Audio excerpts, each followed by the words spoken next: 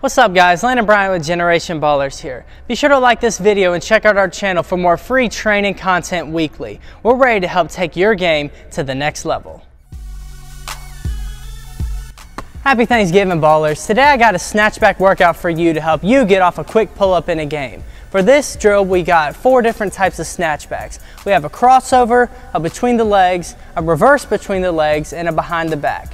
To get warmed up, what we're gonna do is we're gonna start at the free throw line.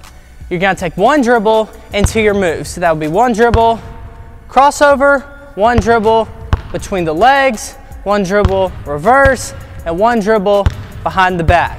You're gonna make one dribble shot with your right hand and a dribble shot with your left hand. Once you make them from the free throw line, you're gonna move back to the three point line to make two there before getting into your next drill. Let's get into it.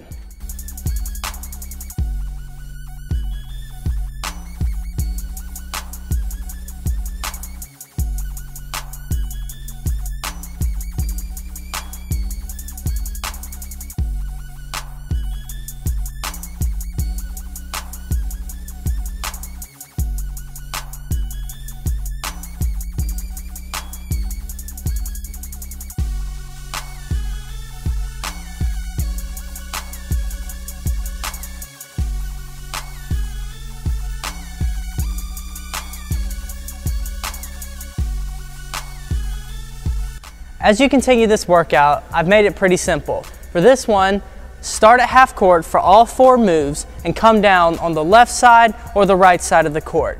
For each side, make four makes and then follow it with one counter layup. The reason this is important is because in a game, if you knock down a couple snatchbacks, what you're gonna need to do is hesitate and then slip it, whether it's a crossover or between the legs or behind the back, whatever move you feel comfortable with and go score a layup. I'm not concerned about left hand, right hand. For this one, just go get a bucket, whether it's a floater, any type of move you want. Just make sure to finish strong.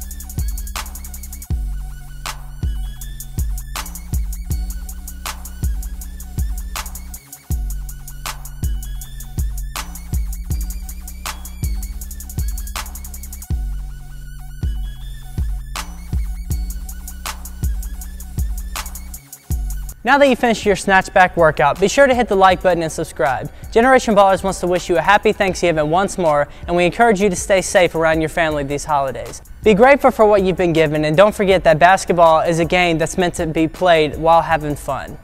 Happy Thanksgiving.